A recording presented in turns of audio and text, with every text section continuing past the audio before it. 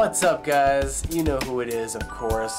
And I'm um, joining you from my uh, bedroom today. And, um, you know, I was just sitting here, you know, just chilling for a minute on my bed, and I was watching, uh, you know, sorting through like some video games and DVDs and stuff, and I was watching this thing um, called like you know the Office Wrap Party, the farewell celebration when they all went to uh, this baseball field, and um, you know, it's just like a thing for fans. You know, it's like a wrap-up party. Obviously, you know, like The Office uh, had ended. This was put up in like late 2013, I think. So just you know, not too long ago, maybe about four years or four years. Um, and it was interesting during the Q and A.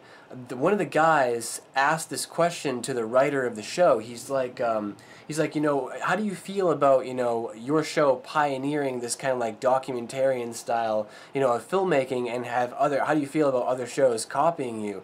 And it just kind of struck a chord with me because like I'm a huge like Trailer Park Boys fan, you know, like and as soon as I heard that comment, I was like, like what do you mean The Office pioneering documentarian film filmmaking or, or documentarian style uh, filmmaking for like a TV show, you know, like like Trailer Park Boys did that back in 1998. You know, it was 1998, 1999, the early 2000s, like the Trailer Park Boys were doing that. You know, and, and sure, that's Canadian television, right? But it's popular here in America too.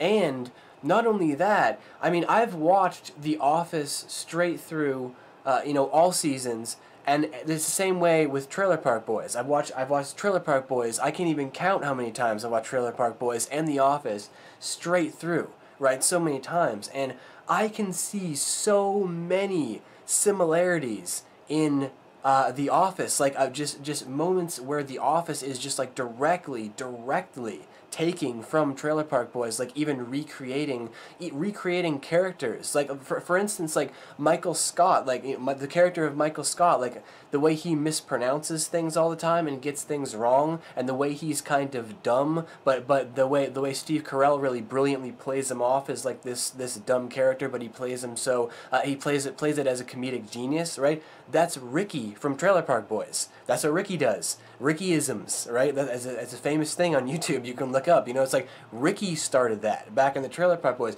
and that's just one. You know, if I sat here for like a, a couple minutes, like I could think of more. And I've been thinking about doing a video about this on my other channel where I, I review movies.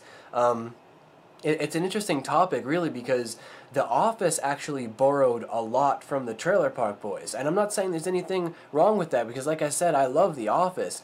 But you can't make a comment like that. You know what I'm saying? You can't... Um, uh, uh, you can't say that. You know, you, you, can't be like, oh, The Office was pioneering this style of filmmaking with all these like unique characters and stuff like that. With the characters, maybe obviously, yeah, a little bit more. They had some unique characters there, but the style of filmmaking, the directing, man, that was Mike Clattenburg in Canada back in the 90s. Mike Clattenburg was perfecting that stuff. Mike Clattenburg was responsible for bringing that kind of filmmaking to life, really. Uh, that, that, um, uh, it's like, you know, like Mike Clattenburg described the Trailer Park Boys, it's, it's like cops, but from a criminal's perspective. Well, that dynamic, right, plays into TV shows like The Office. It's, it's, you're seeing The Office, but from another perspective perspective, a perspective that you wouldn't see. And look at the way he films. Look at the way he ends episodes. I'm, I'm talking about The Office now, the writers of The Office. Look at the way they end episodes of The Office. It's total Mike Clattenburg style. It's the same way Mike Clattenburg ends episodes of The Trailer Park Boys. It's the exact same way, the filming style,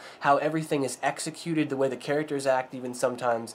Um, so yeah, you know, I just wanted to like, you know, I was just sitting here and I just wanted to turn on my camera real, real quick and just kind of like, you know, make this video, see what you guys thought about that too, is that, you know, even though it, as good as The Office is, and perhaps maybe The Office did pioneer it for American uh, filmmaking, The Office did borrow a lot from the Trailer Park Boys, and you can't argue that, and obviously Trailer Park Boys was around first.